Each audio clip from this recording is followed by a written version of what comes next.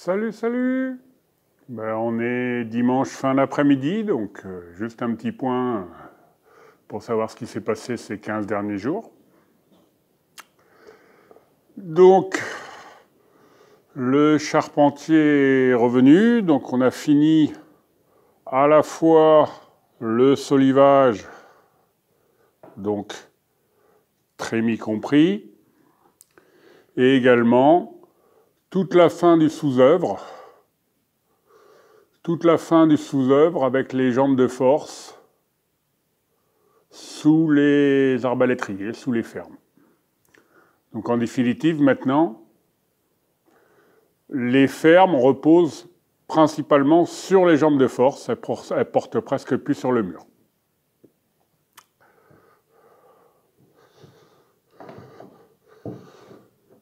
Donc les jambes de force qu'il a mis en bout, c'est celles-là, elles sont plus longues que les autres parce qu'on arrivera à les voir. Avec un assemblage qui n'est pas embloché, on le voit dessous, c'est de la queue d'aronde métallique qui a été mis. Ça fait un résultat sympa. Ça allie le, traditionnel au moderne. Et donc là, maintenant, on n'a pas reposé le, on n'a pas posé le parquet dans la foulée. Je vais vous expliquer pourquoi.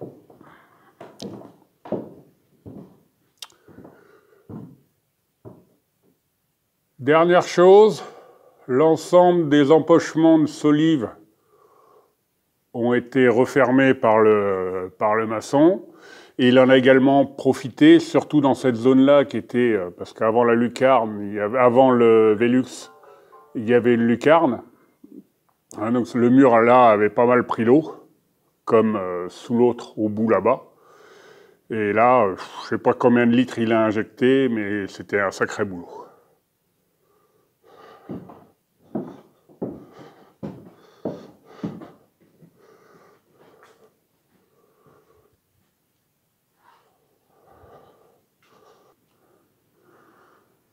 Donc la trémie dans la pièce, la chute d'eau à la porte d'entrée, donc ça c'est la porte qui donne vers le garage.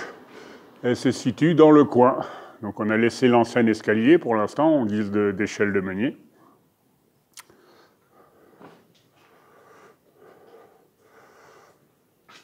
Comme lorsqu'il injectait en haut, ça coulait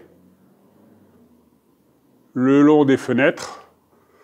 Le maçon en a profité pour faire pas si vous allez voir grand-chose, si, pour refaire également tous les angles de fenêtre. Et sur celui-là,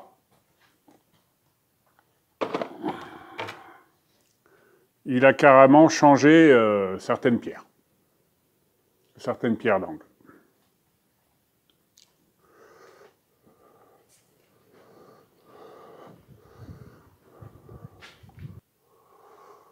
Donc on a aussi passé le tubage dans la cheminée, mais comme j'en avais peur, le, chapiteau de la cheminée est vraiment abîmé. Donc pour l'instant, on a bâché en haut le dessus de la cheminée, le maçon réinterviendra lorsqu'on déposera de l'autre côté. Et le maçon, on a également profité pour me montrer le dégrossi à la chaux. Donc euh, même si j'avais bien brossé le mur avant à la paille, etc. Là, tous les points jaunes que vous voyez ressortir au fond de la cheminée, ben, c'est l'ancienne euh, suie euh, qui, était, qui était collée, qui était imprégnée dans les pierres. Hein. On voit bien dans les pierres noires comme ça. Et ça, il n'y a rien à faire, ça passe à travers l'enduit. Donc voilà pour le dégrossi. Donc maintenant que je sais comment faire, ben, il me reste un petit peu de boulot. Le but, pourquoi on n'a pas fait le plancher? Parce que le but, c'est que tous ces murs-là, de chaque côté, et peut-être une partie du pignon aussi, parce qu'il faudrait ouvrir la cheminée, et dans mon dos, je vais faire un dégrossi dessus. Pourquoi faire un dégrossi? La technique du dégrossi, ben ça, je vous la présenterai dans une prochaine vidéo, parce que là, ça va faire trop long dans le journal de bord. Mais globalement, c'est préparer le mur euh, au mieux à, à la pose de l'enduit dessus, qui sera certainement un chaud-chambre à cet endroit-là.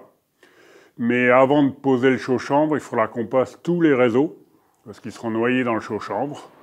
Donc le but, là, c'est de faire tous les préparatifs, finir les murs, etc., le plancher, de manière après qu'on puisse passer tranquillement nos réseaux avant d'attaquer au reste, euh, avant d'attaquer le reste. La trémie a été posée avec également le même système. Là, on la voit bien, les deux pièces de la queue d'aronde métallique. Et pareil de l'autre côté. Donc comme là, la trémie, il a pas mal de poids. Qu'est-ce qui a été fait? Ben Là, il y a l'entrée et la solive qui ont été collées, donc ça a fait doubler. Et de l'autre côté, la solive qui est le long du mur, on l'a fixée sur le mur à cet endroit-là, de manière à ce qu'elle ne bouge pas. Donc pendant qu'on rebassonnait et renforçait le coin, avant de poser la, jambe de force, j'ai également passé deux gaines dans le coin de mon pignon. Une, c'est celle qui descend, c'est celle pour la terre, et l'autre que vous apercevez en haut, là, qui est horizontale, qui est une réservation pour l'instant, elle est prévue pour faire rentrer le fil téléphonique, voire la fibre dans la maison. Donc voilà, voilà, pour le journal de bord, je ne vais pas être plus, long. Donc je termine euh, sur mon début de dégrossi en bas. Ça, je l'ai fait euh, vendredi après avec le reste de la bétonnière.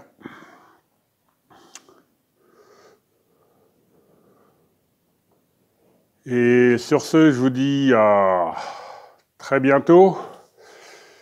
Euh, portez-vous bien, une bonne réussite dans vos projets et Kenavo